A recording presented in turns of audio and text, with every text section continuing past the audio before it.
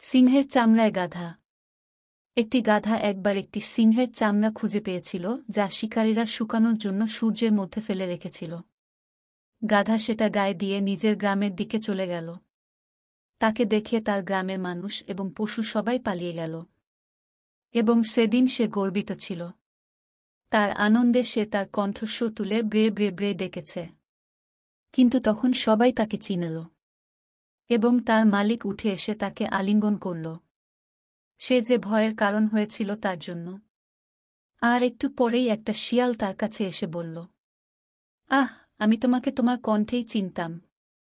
গল্পের শিক্ষা হল সুন্দর পোশাক ছদ্মবেশ হতে পারে, কিন্তু কথা মূর্খতা প্রকাশ করবে।